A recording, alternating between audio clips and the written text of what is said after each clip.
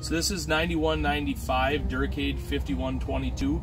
Uh, we'll have this product as 91.95 3010 as well. So this is a 95 day relative maturity product.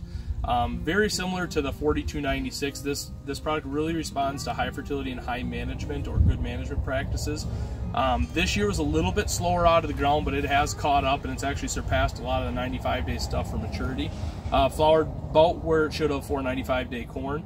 Uh, like I said with 4296, this is a great companion with that 3795 drought guard. One thing about the 9195 is it's not very drought tolerant.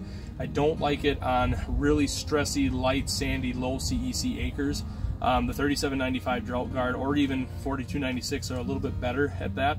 Um, but this product does get fairly tall. It's a good dual purpose for tonnage and starch content. Um, really going to fit a good footprint here in Wisconsin as a companion product to two of our main sellers.